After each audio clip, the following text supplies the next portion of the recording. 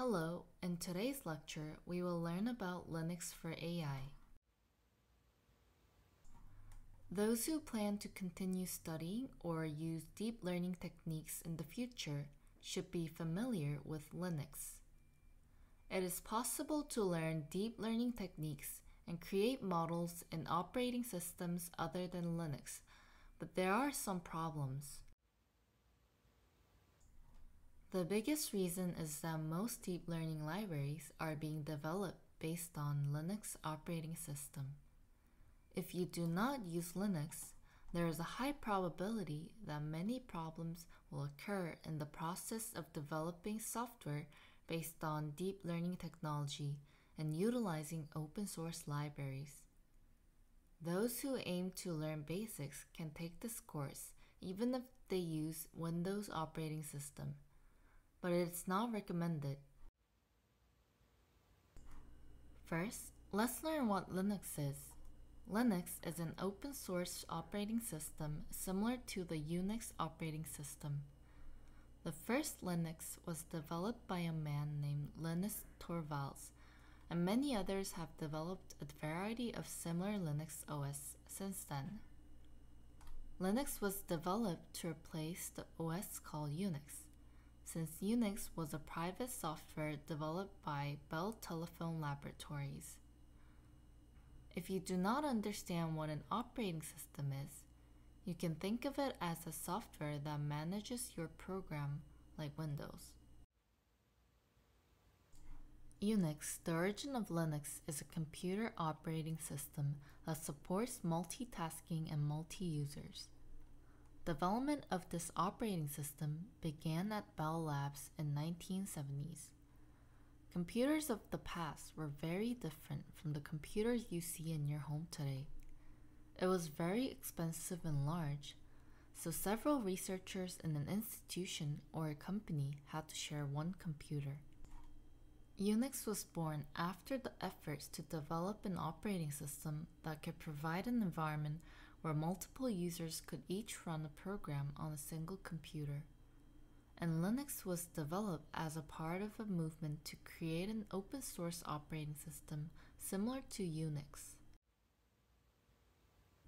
Ubuntu is a kind of Linux. There are many different types of Linux. Some of the popular Linux include CentOS, Linux Mint, and Debian. Ubuntu is an open source operating system modified from Debian. It doesn't matter which Linux you use, but this course will be based on Ubuntu desktop operating system. This course is for those who have learned Python programming. If you haven't studied Python programming yet, you should study Python programming first before taking this course. In this lecture, we will explain Python's operating system related libraries. If you're familiar with Python programming, you can skip this lecture. The Python programming language is an interpreted language which works in such a way that a program called a Python interpreter reads Python code and manipulates the computer to do tasks. There are rules for how the Python interpreter works, but there are many ways to implement this interpreter program. It's like how a pencil case can be made of wood, plastic, or metal. As mentioned earlier, the Python interpreter can be implemented in a variety of ways. There are also various versions of the Python programming language. In the past, Version 2 of the Python programming language was widely used, but version 3 is being used recently. This course is based on Python programming language version 3.8. Also, there are several kinds of Python interpreter for version 3.8. Among them, we are going to use a Python interpreter called Anaconda. Miniconda is a free version of Anaconda. Anaconda is a Python distribution and Python package management system developed by a company called Anaconda Incorporated.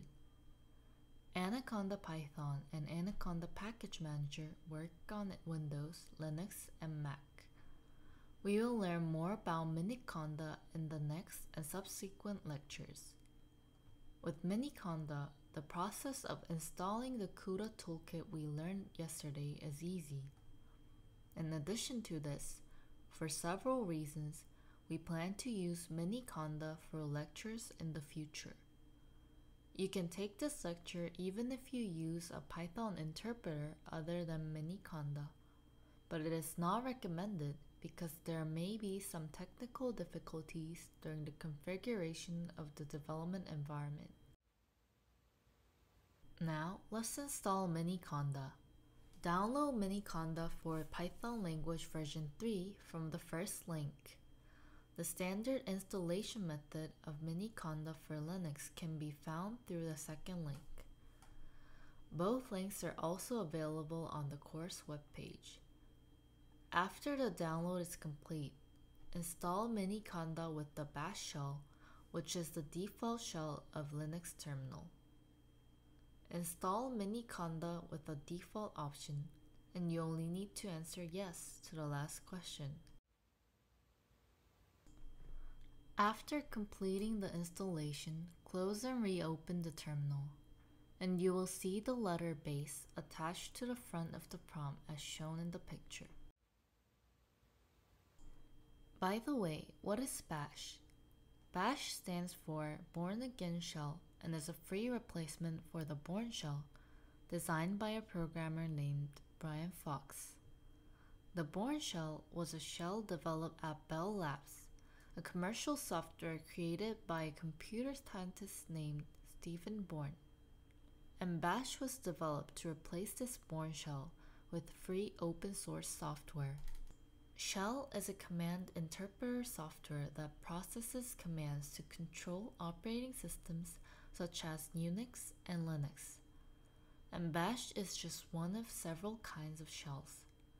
There are several shells, but this course is based on Bash. Since the default shell of Ubuntu Desktop is Bash, you do not need to set up an additional software to use Bash. Now, let's run Python. Open a terminal, type Python, and hit enter.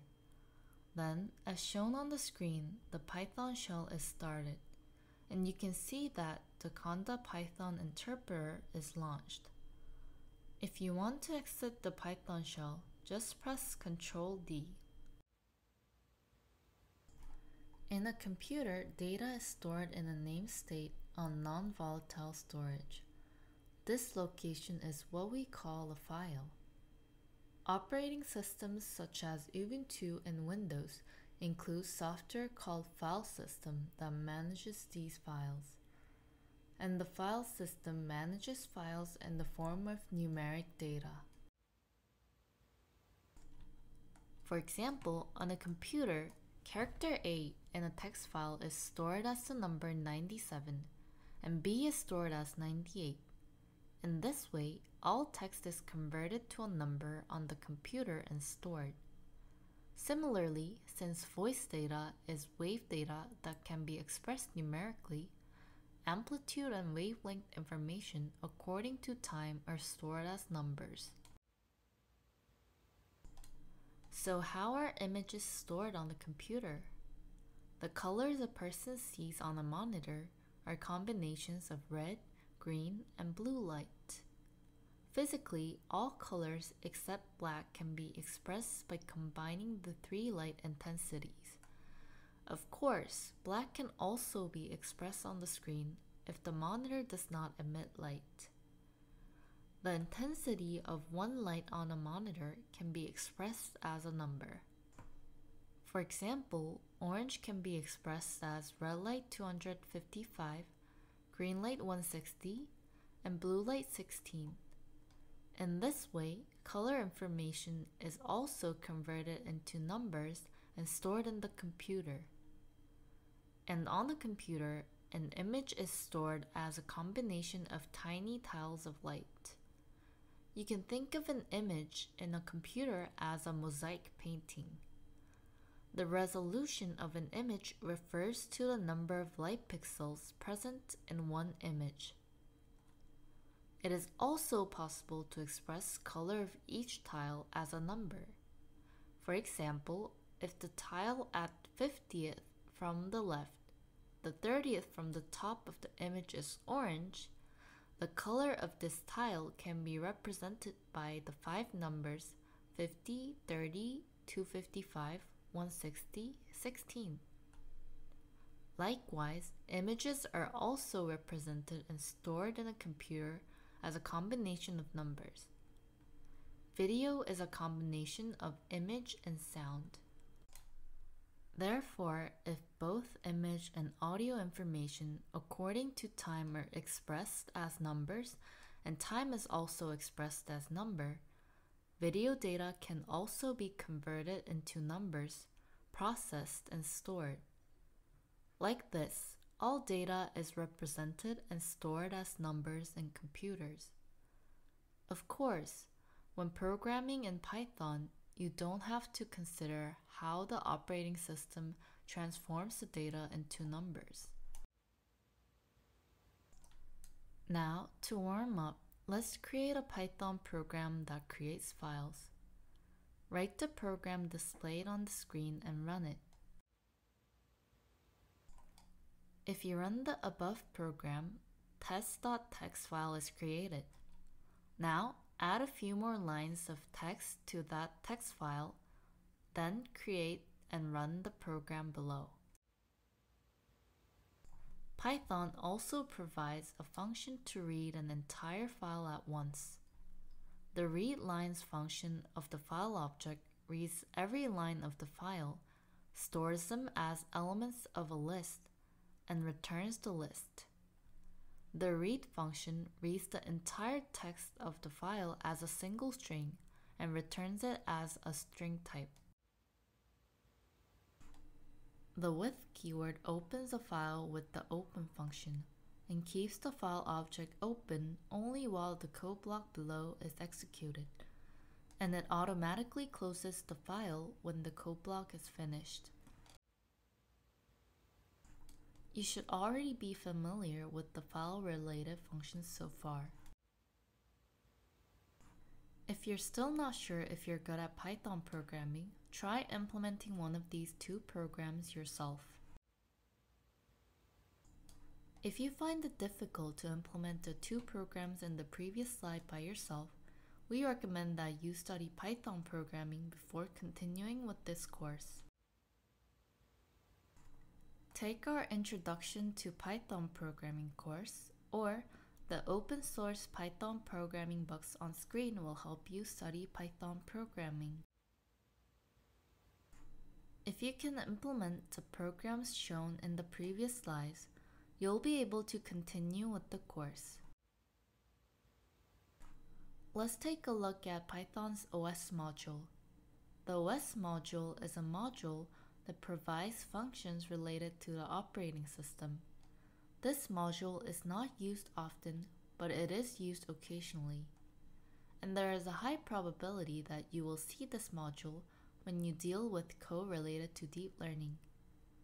If you check the Python reference, you can check the functions of the OS module and see what they do.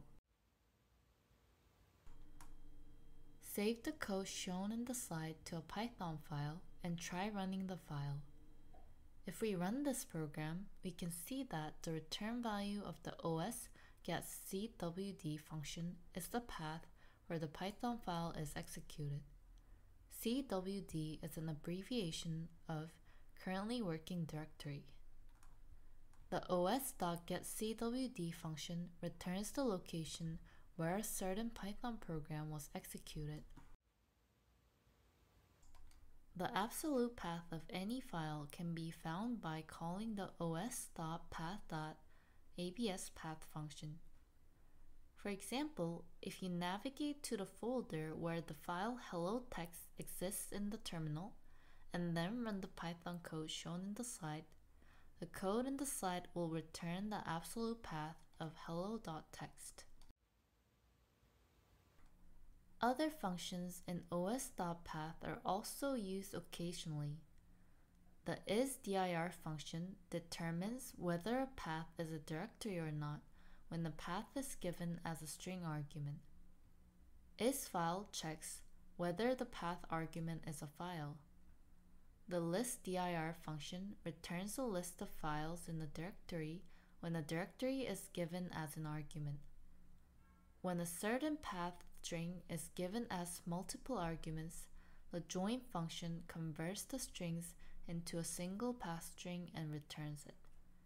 For example, if a folder path and file name are given as arguments to the join function, the join function returns the file path as a string. Let's take a look at the sys module. The sys module provides functions that can be used to control situations that occur while a Python program is running. A list called sys.argv is frequently used in the sys module. This list is accessible when the Python program is run. As you know, we run any Python program in the terminal in the form python a.py. In this case, it is sysargv that stores the command text that runs the Python program. If we check the program on the screen, we can see that the value is the second element in the argv list. If you run this program, you can see that argv stores the strings given after Python. If you print out all the elements in the argv list, you can see that the strings after Python are stored separated by spaces. sys.argv is used to read a file from the file address entered in the command when the Python program is executed. For example, if you want to access world.txt in a folder called hello from a program called a.py, run the Python program as shown in the slide. argv can also be used to set any option value when executing the program.